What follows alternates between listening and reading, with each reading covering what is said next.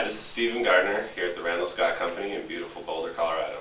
We're here today to answer a few frequently asked questions about our ProBuild bicycle assembly service. Some of you may be wondering, what exactly is a ProBuild? Why is the ProBuild such a good value?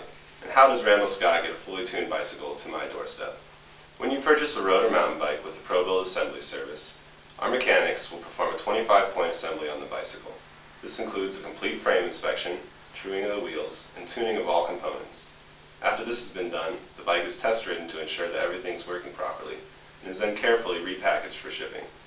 The beauty of the Pro Build is that within 15 minutes of receiving your bike, you can be out on your first ride enjoying crisp braking and smooth shifting. Now, let's take a look at the difference between a bike that has been pro-built by us and one that arrives assembled from the factory.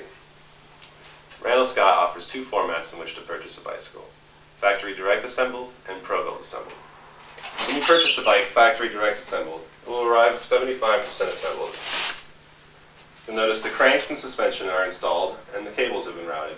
However, nothing has been tuned and the bicycle will need to be built by a professional mechanic.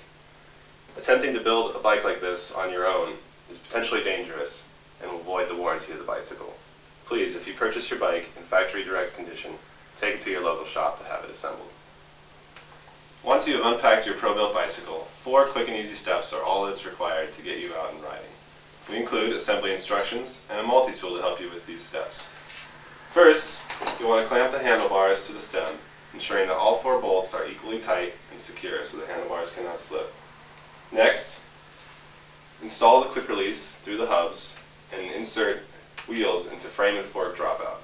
Tighten the quick release and close the lever to ensure the wheel is secure in the dropout.